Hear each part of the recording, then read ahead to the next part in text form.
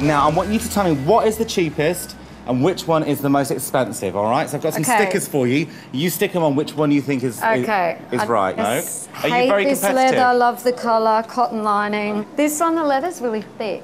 Right, okay. So what would that mean to you then? A thick leather? Because some people might think, well, durable. The re- if you go into any really expensive store, it's normally, they say it feels like butter.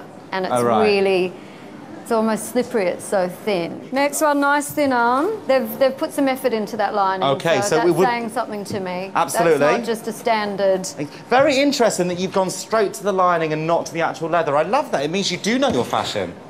Ooh, soft. Nice. Butter. This one feels like butter. Okay, so Daddy, come on then, I'm girlfriend. not sure about the lining, but the, Bang your the leather's on. the cheapest. I'm going to do Think one? this one. Uh, for me, I love this one. Okay, so you and like the lining one. is good. Okay, yeah. so come back here then, lovely. So girls, will you now reveal yourselves in price order, cheaper this side and more expensive that side. So go, girls.